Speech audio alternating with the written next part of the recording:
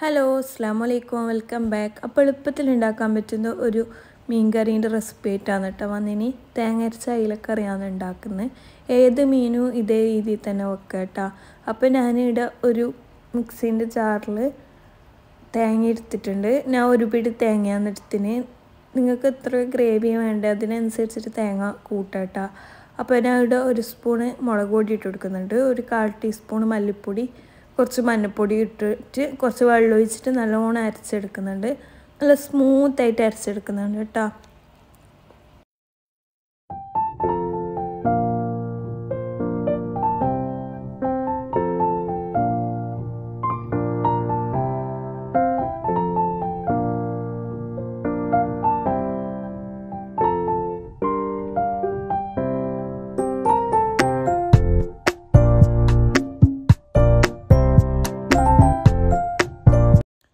ഒരു ചട്ടിയിലേക്ക് കുറച്ച് വെളിച്ചെണ്ണ ഒഴിച്ചു കൊടുക്കുക അതിലേക്ക് രണ്ട് മൂന്ന് കുഞ്ഞുള്ളി ഒന്ന് ചതച്ചിട്ടിട്ട് കൊടുക്കുക ഒരു ചെറിയ പീസ് ഇഞ്ചി ഒന്ന് ഇട്ട് കൊടുക്കുക രണ്ട് മൂന്ന് പച്ചമുളക് ഒന്ന് കട്ട് ചെയ്തിട്ട് കൊടുക്കുക അതെല്ലാം ഇട്ടിട്ട് ഒന്ന് പച്ചമണം മാറുന്നത് വരെ ഒന്ന് ഇളക്കി കൊടുക്കുക അതിന്റെ പച്ചമണം മാറിയതിന് ശേഷം ഒന്ന് മരച്ച് വെച്ച് അരപ്പ് ഇതിലേക്ക് ഒഴിച്ചു കൊടുക്കുക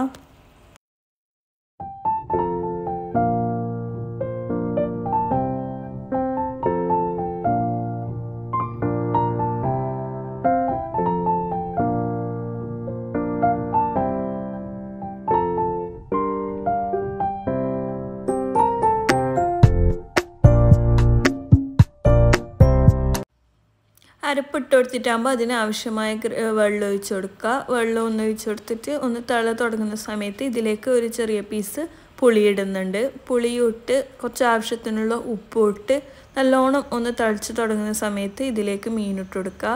മീനിട്ട് രണ്ട് മൂന്ന് തള തിളക്കുമ്പോൾ തന്നെ ഓഫ് ചെയ്യുക. അതിലേക്ക് കറിവേപ്പില ഇട്ട് കൊടുക്കുക. അപ്പോൾ ഈസി ആയിട്ടുള്ള മീൻ കറിയാണ്. എല്ലാവരും ഒന്ന് ട്രൈ ചെയ്ത് നോക്കുക. ഒരു രണ്ട് മൂന്ന് മിനിറ്റ് കൊണ്ട് ഉണ്ടാക്കാൻ പറ്റുന്ന കറിയാണ്. അപ്പോൾ എല്ലാവരും ഒന്ന് ട്രൈ ചെയ്ത് നോക്കുക അപ്പോൾ നെക്സ്റ്റ് വീഡിയോ കാണാം. അതുവരേക്കും ബായ്